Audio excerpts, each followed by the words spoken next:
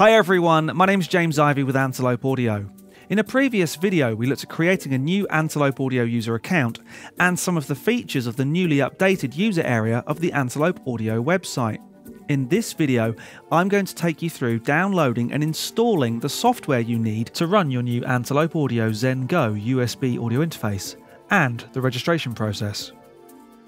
There's not much business to take care of here, but there are a couple of differences between running Zen Go with macOS and running it under Windows. So, with that said, let's dive in. All Antelope Audio interfaces require you to download the Antelope Audio Launcher software. The launcher allows you to register, configure, and update not only your Antelope Audio hardware, but also the drivers and supporting software that accompany the hardware. There are two places to find the download for the launcher.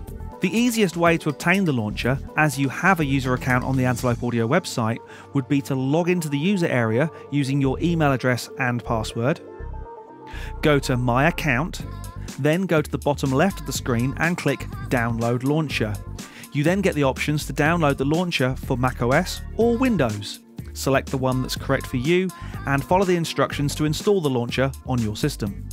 However, you can also click the support button on the homepage of the Antelope Audio website, then click Downloads, select any of the Antelope Audio interface hardware, then scroll down to the launcher download link for your operating system. The launcher is the same for all Antelope Audio interface hardware, so it doesn't matter which interface you select, the launcher that will be downloaded will be the same. Once installed, you can boot, start, or even launch the launcher. On macOS, you are now up and running. On Windows, you may get a message like this. Just click Allow Access, and your launcher should become populated with the Antelope Audio interface hardware you either have attached locally or that you have attached over your local area network. The next thing to do before you start making music is to register the interface. In the launcher, click Activate Device. If you are not already logged into your account, you'll be prompted to do so. Hit Activate Device again and confirm the email address shown is the account you want to register the unit to. Now click Activate Device or Assign Features and hit Continue. Now check Register Device. If you've been given or paid for any extra software, you can assign these to the ZenGo here, then hit Continue. Don't worry, you can assign more features like Antelope Audio AFX plugins or mic models to your interface at a later date if you wish. Congratulations, you have been successfully registered. Now hit Done. The next thing to do is make sure you have the very latest bundle software for your interface installed. In the launcher, next to the device name, which is the serial number by default, you will see the bundle version.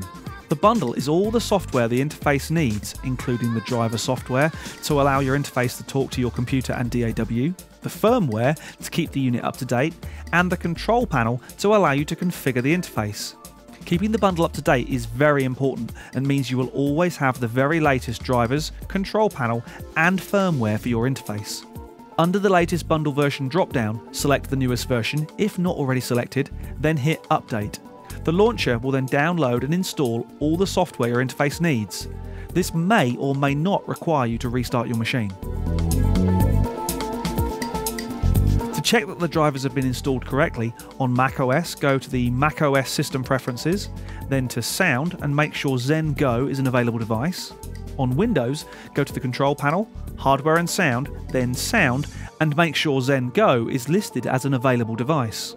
And there you are, you're installed, registered, and up and running. It's now time to get creative. Hope you enjoyed that. My name's James Ivey, and I'll see you again very soon.